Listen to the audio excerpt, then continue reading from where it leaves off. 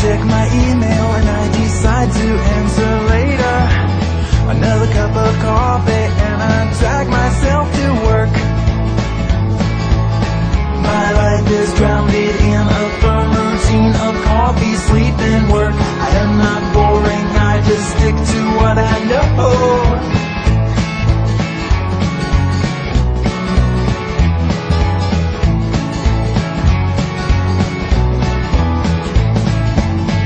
sitting there at work and I realized I forgot to wake up. I can't be productive when I'm dreaming about a sheep. I go upstairs and get myself another cup of coffee. I get downstairs and then I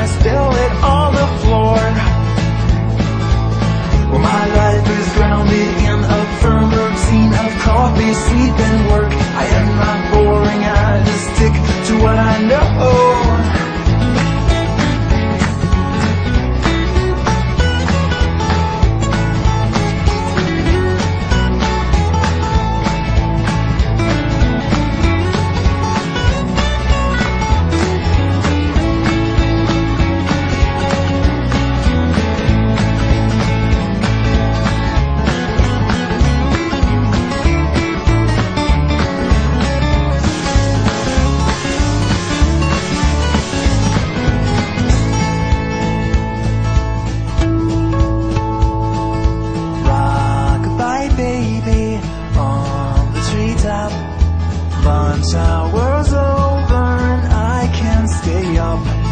I've got to drink coffee, but that's a mistake. I best switch to decaf or I'll stay awake.